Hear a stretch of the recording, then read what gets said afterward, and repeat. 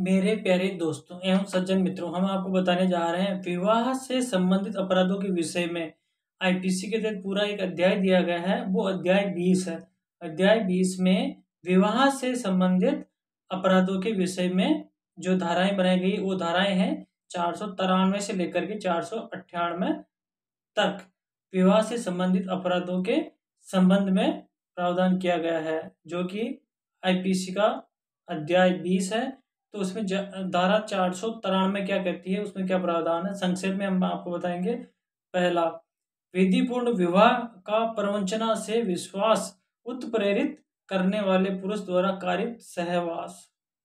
चार सौ तिरानवे और चार सौ चौरानवे, पति या पत्नी के जीवन काल में पुनः विवाह करना, अर्थात की दूसरी शादी करना। फिर बढ़ते हैं इस क्रम में आगे।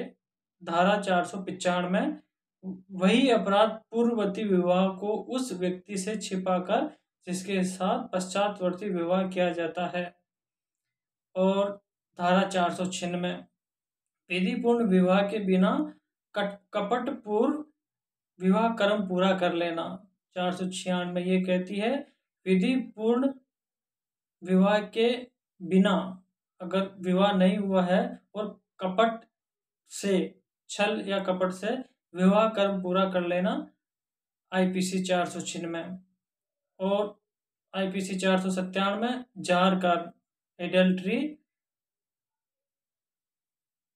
अर्थात की जार कर्म जार कर्म की डिटेल में हमने आपको अलग से वीडियो बनाई हुई है, उसमें आप देख सकते हो।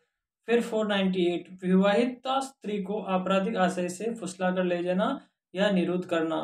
ये चार सौ तिरानवे से लेकर के चार सौ अट्ठानवे और इसके अंदर एक फोर नाइन्टी एट ए भी है।